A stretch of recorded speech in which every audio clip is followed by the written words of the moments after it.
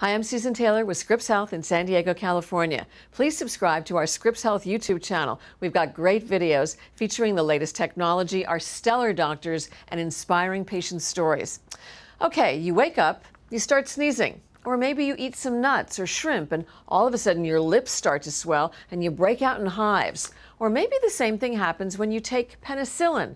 What you're having is an allergic reaction. According to the Centers for Disease Control and Prevention, allergies cause nearly 17 million doctor visits each year. Joining us to talk about allergies, how to spot them, and how to treat them is Dr. Ronald Simon, who is an allergist and immunologist with Scripps Clinic in Carmel Valley. Thanks so much for being with us, Dr. Oh, Simon. you're welcome. It's my pleasure. Let's start with the basics. What is an allergy? I think maybe let's start with what's not, because um, so many people think they're having allergies that are really not. Um, it's become almost an English word, not even a medical word. People think that um, something is repugnant to them if they just don't agree with it. They're allergic. I remember people talking about even being allergic to Mondays or being allergic to that sort of thing. Um, and there also are intolerances, um, both in the English language but also in, in medicine, like lactose intolerance. Uh, there are sensitivities that are really not exactly allergies, so we, we, differentiate all of them in a medical sense. So an allergy involves the body's immune system. That's, that's primary, primary and foremost. And that means that only certain people actually have them. Uh, irritants bother everybody. So if there's enough smoke around, everybody's going to start coughing and sneezing. But with an allergy, it's an exquisitely little amount because it sets off the body's immune system and it's really to what otherwise would be harmful substances. So cigarette smoke is an irritant. That's not an allergy. But something like a flower or a food or an animal that is a natural substance should be harmless in, in a medical sense. Then the body's immune system starts to react to it, and it shouldn't be. And then tiny little exposures to it trigger the typical allergy reaction. So, what are the most common types of allergies? Well, definitely foods things in the air. We're talking about flowers, pollens, uh, dust, mites, um, animals, and then medications as well. So let's go back and kind of laundry list them. What kind of food, what types of food, let's say name the top five that would pr prompt an allergic reaction? Yeah, so that would definitely be the most common foods that people eat because you have to have exposures. So it would be things like wheat and soy, milk and eggs, fish, including shellfish, and then nuts, which would include both peanuts, which really isn't the nut, it's actually a legume more related to peas, um, but we call it peanut, and then the tree nuts. What about um, gluten? Is that a, they say gluten intolerance? Is that an allergic reaction? Yeah. So again, that's why it's a great example of what is not exactly an allergy. So sometimes you call it gluten intolerance, and many people think they have that, and and probably do, but we actually have no test for that. Then there's a much smaller group of people that are called gluten sensitive, and they have a very distinct medical disorder for which there is a test, but they're a very small minority of people. But none of those really are the same as being gluten or really wheat allergic. So let's talk about the environment. Uh, what kind of allergies would you have to what's out there in the environment? Yeah, so definitely again, pollens, depending upon the season, it could be grasses, trees, or weeds. Uh, molds, and that could be either seasonal or in somebody's home. Uh, we talk about dust allergy, but you know, dust, when you think of dust like particles floating in the air, those are just debris. Um, and you really can't be allergic to that. They can be irritating, and a lot of people may sneeze if they're around a lot of dust, but not exactly an allergy. The allergy to dust is actually something called dust mites. They are microscopic but living creatures, um, and like every living creature, lives where their food source is. And of all the things to eat, they actually eat dead, flaky skin. So where would lucky that? them. Yeah, lucky them. Well, at least they take care of it for us. Um, so where would they live? They would live in pillows and mattresses where our dead skin would tend to collect. So again, dust mites, mold, pollens would be, and then furry animals. Yeah, like animal dander. Dogs. Yeah. Yeah, but not all not all dogs and cats, right? Certain types. So it's interesting. People come to us all the time and saying, "Well, it's not my dog; it's it's hypoallergenic," or "It's not my cat; it's everybody else's cat." So two different explanations. So for years, everybody thought they had these hypoallergenic dogs, and finally, a group did a research study, and they vacuumed up the dust in homes that had regular standard dogs, and then they also vacuumed up the dust from homes that had these hypoallergenic dogs, and they measured the dust for dog allergen, and the levels were identical.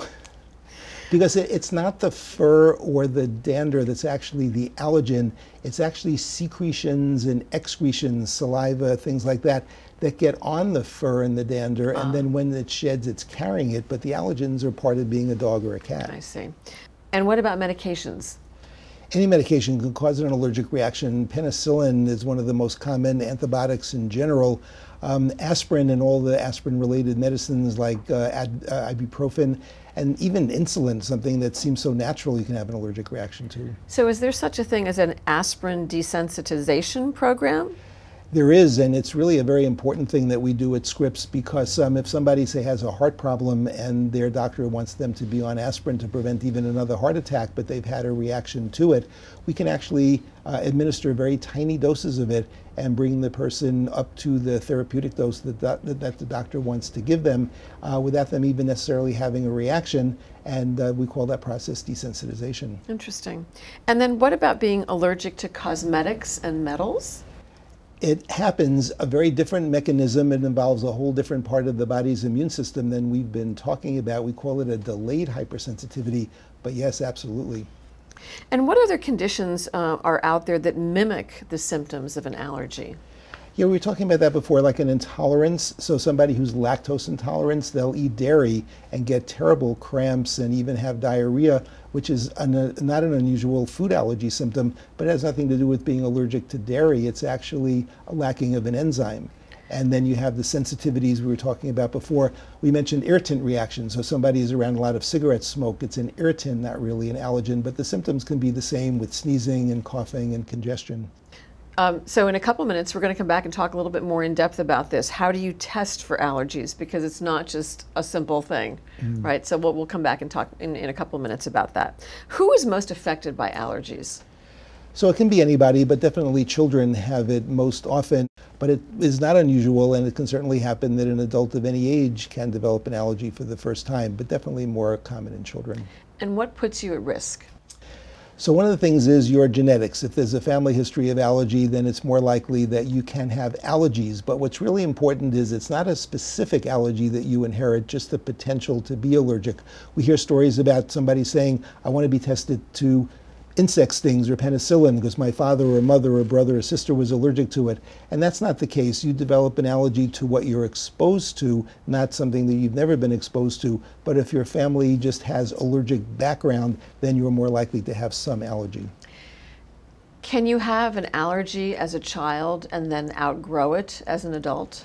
Absolutely. Fortunately, it happens very frequently with foods. So we mentioned how wheat and egg and soy are amongst the most common food allergies. You can hardly find an adult who's allergic to any of those three. For reasons that nobody understands, the nuts and fish persist but um, definitely you can outgrow that. And then you hear about a lot of people that had terrible hay fever when they were younger, even terrible asthma when they were younger, and now that they're an adult, it's just totally disappeared. So let's talk about the symptoms of an allergy. Aside from the sneezing and coughing, and how do you know that it's an allergy or that you're just maybe getting a cold? yeah, so the way I like to look at it is think about what you're being exposed to. So if it's something in the air, then you're going to have symptoms where it goes. So you have ocular symptoms. Your eyes will be itchy and watery. It goes into your nose. You'll be sneezing. You know, the, the allergic reaction, in the body is trying to get rid of what it's reacting to. So your nose will run. You will sneeze to try to get rid of it. Your nose congests to prevent any more from going in. Then if it gets into your lungs, you can start to cough and wheeze and get short of breath. It's going to be somewhat different for a food because it doesn't go there. It goes into your mouth. So the first symptoms should be maybe itching inside the mouth, maybe a little bit of swelling. But then when you swallow the food and it goes into your stomach, you may get an upset stomach, nausea, maybe even vomit. But then it goes into your intestines and you may get cramps and abdominal pain and bloating, even diarrhea. Then after that, maybe if the food can make it through the intestine into your bloodstream, then you can start to get what we call systemic complaints. And that can be itching, developing hives, which are raised red itchy welts, even getting giant swelling, and then it can also go to the respiratory tract and produce the same symptoms that the airborne allergens do. So, how do you know it's an allergic reaction and that you're not coming down with a cold? The sneezing and coughing. Yeah, it can be hard to tell, but usually colds have a season, and it's usually the winter season, which is not the allergy season because nothing is really growing and pollinating during the winter. Um, Usually, when kids go back to school, a lot of times the colds will start. That can be harder to differentiate because there are some late summer and, and early fall allergens. The symptoms can be very similar, but one thing that is absolutely part and parcel of an infection would be a fever. Now, you don't always get a fever with a cold, but if you have a fever, it can't be allergy. And then the one thing that comes out during allergic reactions that won't come out with a cold or any other infection is histamine, and histamine causes itching. So if your nose is itchy, your eyes are itchy, if there's itching involved, then you also know it's not a cold. Interesting. What can you do to control your allergic reaction? Well, the, we like to think about avoidance. You know, the number one premise of allergies, if you can avoid it, then you won't have any allergic reaction. And we do teach patients a number of uh, techniques for avoiding a number of allergens. What you can't avoid, there are medications for, and these days we have amazingly effective medicines that have no side effects, and many of them are now over the counter at full prescription strength. If that's not enough, or if somebody really wants to no longer be bothered by allergies, we have various ways of desensitizing patients. We call it immunotherapy. We try to tweak their immune system to actually stop reacting. When you talk about avoidance, what do you mean by that? Let's say in terms of pollen and animals. Sure. So for pollens, it's interesting that um, the time when pollen is going to be the highest is actually in the morning. So if you want to go and do some exercise, maybe just time it to a different part of the day. Um, if it's really bad and you stay indoors, an air conditioning filter will actually filter out about 85% of the pollen. If you have a HEPA filter, it gets almost all of the pollen. Um, so that, that'll work. Furry animals, it's a little bit more difficult. Nobody wants to give up their animals, and I totally get that. But you would at least like to make the bedroom kind of a sanctuary because you spend so many hours in there and not have exposure. So the animal could just be out of the bedroom, that would be nice. And then you can, if the animal's been in the bedroom before, the kind of covers that we use for dust mites can actually take that mattress and that pillow, which unfortunately is a big reservoir of the animal allergen, and then just completely exclude it from your nose and eyes. Well, let's go back a little bit and talk a little bit more about medication. What do you recommend? What are the what are the side effects of medication and what are the risk factors for medication? Sure. So for most of those histamine symptoms that we were talking about, the itching and watering and sneezing, um, you can take an antihistamine. And these days, the what I call the big three, which for many many years were, were by only by prescription, are now full strength over the counter. So by brand name, there's Claritin, which is uh, loratadine. There's Allegra, which is fexofenadine, and Zyrtec, which is cetirizine. Amazingly effective. Some people may get a little bit drowsy with uh, cetirizine, Zyrtec, um, but most people handle it very well, and the other two are really non-sedating. Now, they don't work very well on congestion. If your nose is blocked, you can't breathe well through your nose. So each of those antihistamines comes in a D form. The D stands for decongestant, and they basically are adding something like Sudafed. Everybody knows what Sudafed is.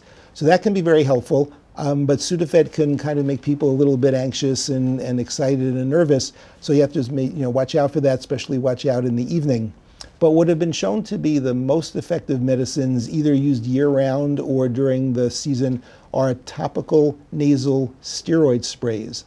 So they're now over the counter, a full prescription dose. There's three or four of them that are out there, and they control basically the whole allergic reaction. Um, and used regularly, they can be amazingly effective. One drawback, though, is that if you are congested, the spray won't go in. so you need to do something to what I call make room for it. And we have various ways of doing that. And what about an allergy shot? Yeah, so there's something that's called an allergy shot without the S for plural that people have kind of gotten used to. And that really is, again, a, a steroid shot. So I was mentioning they have these over the counter nasal steroid sprays. Steroids are just the most powerful anti inflammatory medicines that we have, and they are the best for allergic inflammation.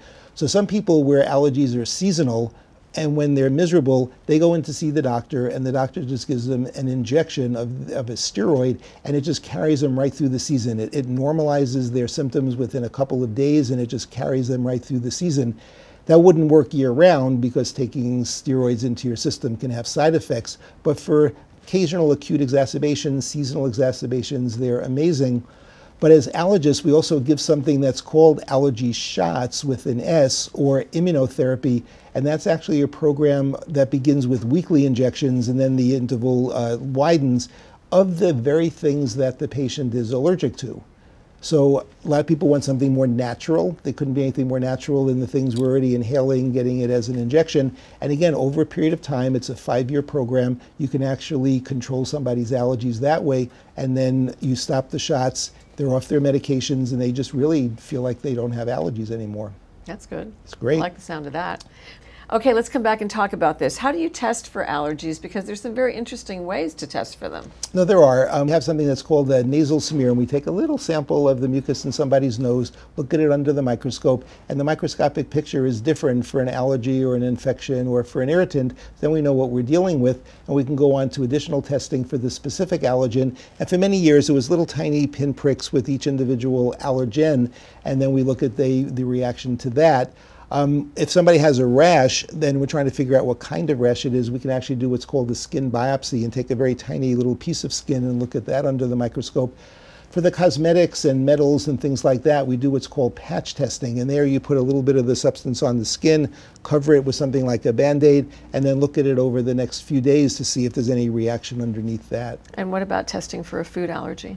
So, food allergies would be either by skin testing, those little skin pricks, okay. or the uh, blood test for a while we were doing some patch testing for the foods, but it just hasn't really worked out as well as we had hoped.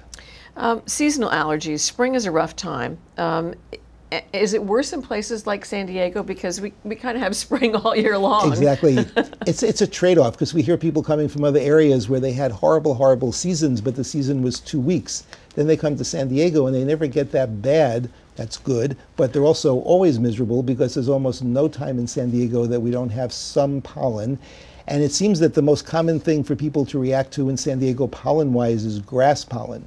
And that can start in San Diego even in January or February, like it did this year with all the rains. And it can go sometimes even until November, so there's almost no time of year that you're not affected by it. Um, when should you say, you know, I've, I've dealt with the over counter medications, I really need to go see a doctor? I think when either, well, certainly if they're not working well enough, because sometimes we can just give you some hints about how to make them work better. Like I was saying before, you know, if your nose is really congested, you could spray all you want and it's not going to work. But what if it turned out that you were allergic to, say, something like dust mite? And all it would take would be a few avoidance maneuvers and then you would be fine. It would be off of medication. So if it's not working, if you're kind of curious to know what you're allergic to, because maybe avoidance would be a good way to go. And then, like I say, if you've even been down that road before, but you're saying, I just don't want to deal with allergies anymore, I'm thinking about allergy immunotherapy or those allergy shots we didn't mention, may come back to it, about um, even there's a new treatment called sublingual immunotherapy. And it's only available now for three things grass pollen, a ragweed and dust mite. But if those happen to be your allergies, you can actually get the medication from a pharmacy, and all you do is put a little tablet of the medicine under your tongue every day. And again, over again, that same five year period, you hope to get desensitized to those things. Interesting. Any final thoughts, doctor? No, I just think people need not suffer from their allergies. Our goal as allergists is to make people feel just fine in whatever environment they're in. Thanks so much, Dr. Simon.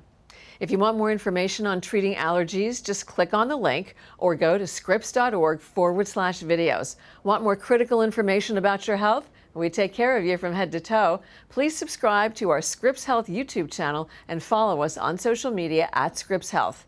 I'm Susan Taylor. Thanks so much for joining us. It's our mission at Scripps to help you heal, enhance, even save your life.